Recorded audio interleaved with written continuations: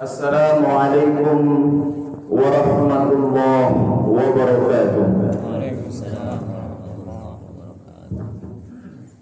الله أكبر الله أكبر الله أكبر الله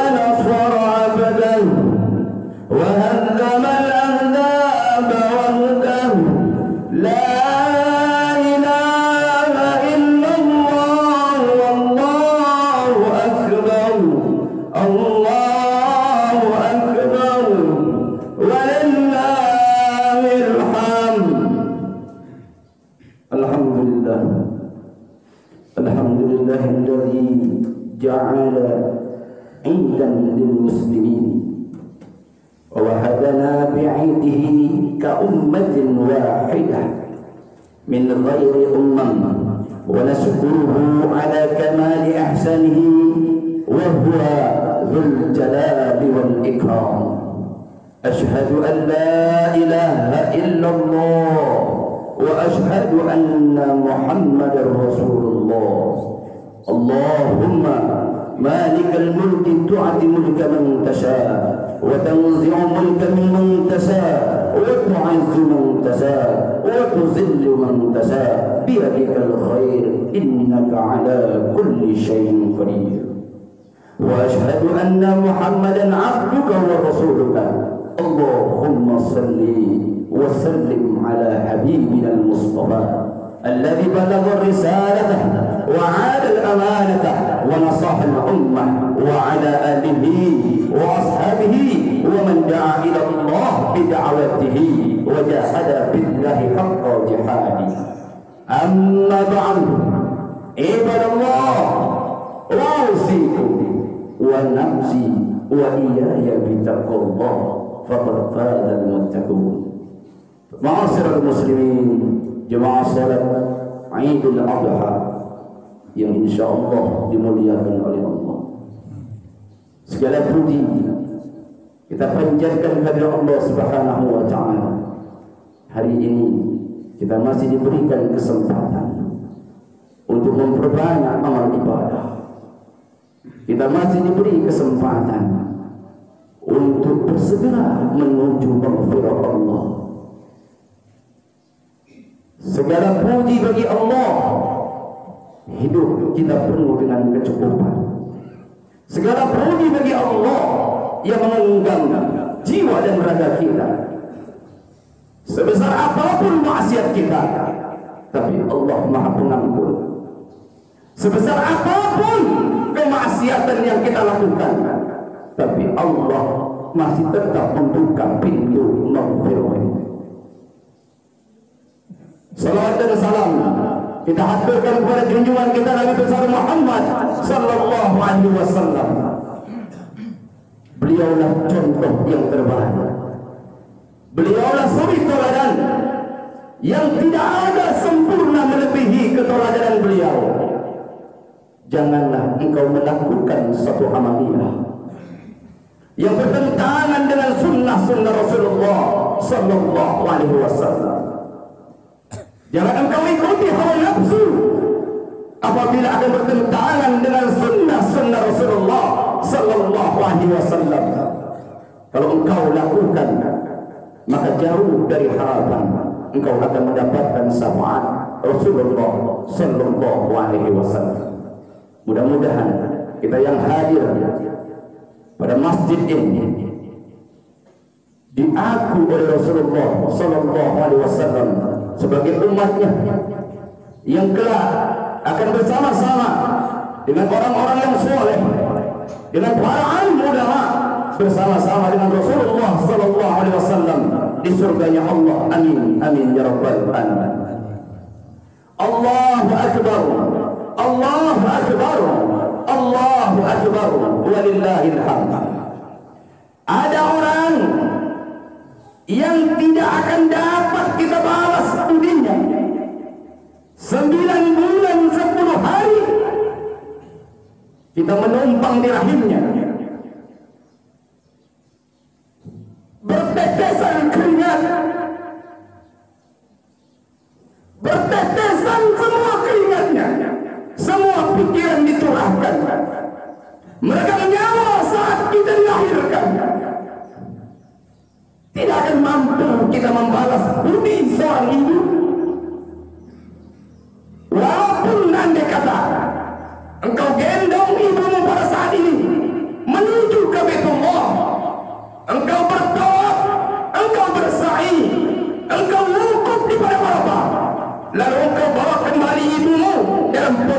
gendong tidak akan mampu untuk membalas segala budi yang dilakukan oleh orang tua.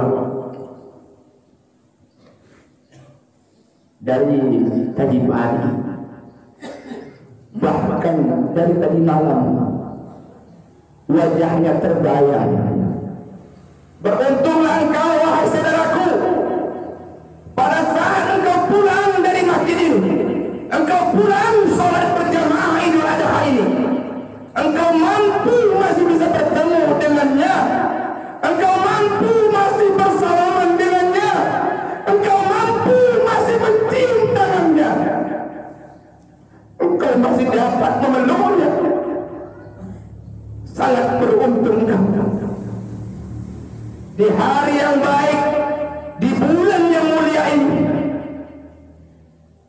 kalau engkau mampu untuk membelikan pakaian yang terbaik belikan untuk ibu.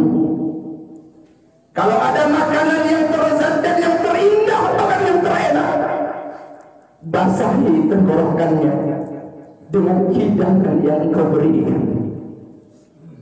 Tapi saudaraku, ada di antara kita, jangankan dapat mencium tangannya, jangankan dapat memeluk badannya, untuk berziarah pun kita jauh tempatnya. Tetapi engkau jangan bersedih. Engkau bisa memberikan sedekah. Sebagaimana yang dilakukan oleh Sa'ad bin Ubadah. Yang mana sahabat Rasul ini sangat menyayangi akan ibu. Dia datang kepada Rasulullah sallallahu alaihi wasallam lalu berkata ya Rasulullah ummi mata wahai Rasul ibuku telah meninggal. Ibuku telah meninggal wahai Rasul. Maka diteruskan. Oleh saat bertanya kepada Rasulullah sallallahu alaihi wasallam fahal ajrun in tasaddaqtu anha? Wali ajrun. Apa kalimatnya ya Rasul sekiranya aku bersedekah sekiranya aku mau bersedekah untuk orang tuaku apakah akan sampai pahalanya kepada ibuku? Ataukah pahalanya akan untukku sendiri?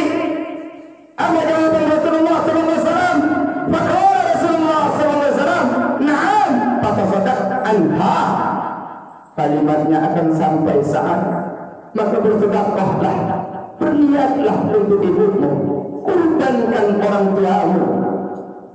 Sedekahkan atas nama orang tuamu yang telah meninggal maka kata Rasul dia akan dapat pahalanya dan engkau pun yang melakukannya akan mendapatkan pahala yang sama. Man dala 'alal khair falahu ajrun mithlu ma. Siapa yang melakukan satu kebaikan, siapa yang memfasilitasi satu kebaikan, maka dia akan mendapatkan kebaikan yang sama melakukan kebaikan tersebut. Allahu akbar. Allahu akbar. Allahu akbar. Walillahil hamd. Hari ini kita berzikir. Hari ini kita bertasbih. Hari ini kita masih mampu mengirim doa untuk orang tua, masih mampu mengirim surat al-fatihah kepada orang tua kita. Tetapi saudaraku, apakah kelak engkau meninggal dunia? Apakah kelak pada saat kita meninggal dunia, anak-anak kita akan mengirimkan doa kepada kita? Apakah anak-anak kita mampu untuk ingat kepada kita? Apakah anak kita akan bersedekah untuk nama kita? Apakah anak kita akan berkorban untuk nama kita? Makanya Nabi Ibrahim alaihissalam bukan hanya memberikan contoh dalam berkorban, akan tetapi ada satu hikayat bagaimana cara Nabi Ibrahim alaihissalam benar-benar dia berbakti kepada orang tuanya sebagaimana yang diabadikan oleh Allah Subhanahu wa taala dalam surah Maryam ayat 46 Bismillahirrahmanirrahim. Qala araghibu anta an al an ilahati ya Ibrahim. Ini ketika Nabi Ibrahim mencoba untuk mengingatkan orang tuanya. Karena memang susah terkadang kalau anak mengingatkan orang tua sangat sulit untuk yang lebih muda mengingatkan yang lebih tua. Maka sampai Allah mengabadikan di dalam Al-Quran. Apa ketika Nabi Ibrahim mencoba mengajak orang tuanya untuk menyembah Allah, untuk mengajak ayahnya untuk selalu menyembah tidak lain hanya kepada Allah. Jawabannya apa di sini? Di dalam Al-Quran Allah mengabdikan perkataan dari Azar orang tuanya Nabi Ibrahim. Kalimatnya adalah kuncikan kamu kepada Tuhan wahai Ibrahim. Kemudian diteruskan apa lagi di sini? Kalimatnya la in lam tantahi la in lam tantahi kalau kamu Ibrahim tidak berhenti juga memberikan ceramah, tidak berhenti juga memberikan masukan-masukan, tidak berhenti juga untuk menyembah Allah, tidak berhenti kamu mengajakku untuk menyembah Diteruskan dalam ayat ini. La arjuman manaka. Maka aku akan melempar kamu dengan batu. Akan kurajam kamu oleh Ibrahim dengan batu. Kemudian diteruskan lagi oleh bapaknya. Wahjurni maliya.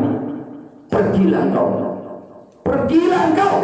Diusir Nabi Ibrahim. Berapa kasarnya orang tuanya kepada Nabi Ibrahim alaihissalam pada saat mengajak untuk menyembah Allah. Tapi apa jawaban Nabi Ibrahim alaihissalam? Jawabannya ada dalam surah Maryam ayat 47. Qala salamun alaika. Kata Nabi Ibrahim mendoakan orang tuanya. Semoga keselamatan dilimpahkan kepadamu wahai ayah.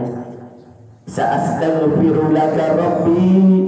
Sa'astaghfiru laka rabbi. Sa'astaghfiru laka rabbi.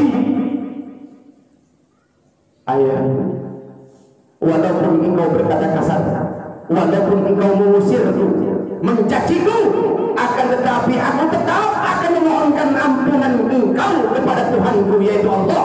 Tetap aku akan memohonkan ampunan kepada Allah untukmu wahai ayahku. Luar biasa. Inilah yang dilakukan oleh Nabi Ibrahim alaihissalam. Mudah-mudahan kita menjadi anak, menjadi yang lebih muda. Marilah kita mencontoh apa yang dilakukan oleh Nabi Ibrahim alaihissalam. Biarkan kalaulah memang orang tua kita tidak mau kita ajak dalam kebaikan. Biarkan kalau ada yang lebih tua darimu, engkau ingatkan dalam kebaikan, tetapi malah engkau dihina dan dicaci maki. Karena inilah yang dicontohkan oleh Nabi Ibrahim alaihissalam dan apa yang diberikan oleh Allah Subhanahu Wa Taala balasannya satu Kebahagiaannya Satu, penghormatan kepada orang tua akan tetapi dibalas oleh Allah dua diberikan dua putra yang soleh soleh yaitu Nabi Ismail dan Nabi Ishak alaihissalam. Mudah-mudahan kita semua di momen kurban ini dapat menjadikan ini menjadi mendekatkan diri kepada Allah Subhanahu wa taala. Mudah-mudahan semuanya diberikan oleh Allah kekuatan iman dan Islam Mudah-mudahan kita dapat berbakti kepada orang tua selagi masih hidup dan dapat selalu ingat kepada orang tua dikala beliau telah meninggal dunia dengan selalu bersedekah, dengan selalu mendoakannya. Amin. Amin. Ya rabbal alamin. A'udzu billahi minasyaitonir rajim. Wa qada rabbuka alla ta'budu illa iyyahu wa bil walidayni ihsana. إما يبلغن إما يبلغن عندك كبار أحدهما أو كلاهما ولا تكن لهما أف ولا تنهرهما وقل لهما قولا كريما.